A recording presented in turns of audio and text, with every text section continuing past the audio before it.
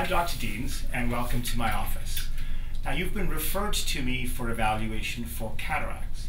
You've seen your own doctor. They've sent you to us because your vision can no longer be corrected with glasses. And if your vision's blurry, one of the most common reasons for it is a cataract. I'm often asked, what is a cataract? It's a common problem, other people have it, but what exactly is it? I have here a model of the human eye. Now it's a lot larger than your eye, but this gives you a much better idea of what we're going to do. Here is the lens of the eye. And as you can see, it's quite cloudy. And this is exactly what a cataract looks like. Once this cloudy, cloudy lens obstructs your vision, we decide that it's time to remove it. And I'm often asked what criteria we use to recommend an operation.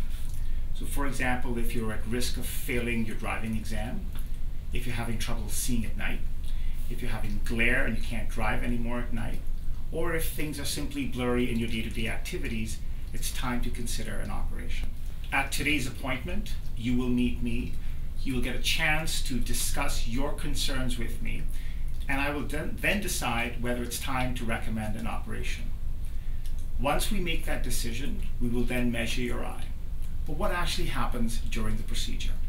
Well, we bring you to the hospital and we make you sleepy for three or four minutes. This is a very quick operation. You're there for about two and a half hours, but the actual operation is very quick. While you're sleepy, we remove the cataract from your eye. That's the cloudy lens. During the surgery, we'll be replacing it with a brand new artificial lens. And that new lens fits inside your eye and will take the place of your natural lens. The first day after the operation, you do need to take it easy at home to let the anesthetic wear off.